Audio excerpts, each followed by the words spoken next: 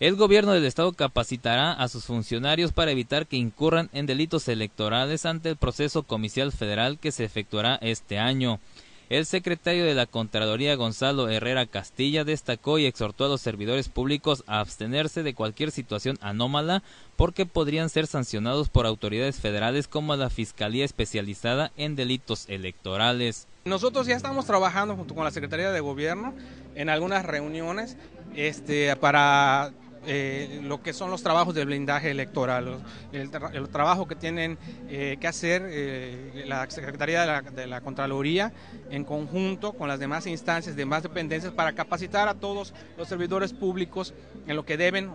y lo que no pueden hacer. Herrera Castilla dijo que la Contraloría es la instancia rectora que controla las acciones de los funcionarios públicos y por ello están pendientes de cualquier irregularidad.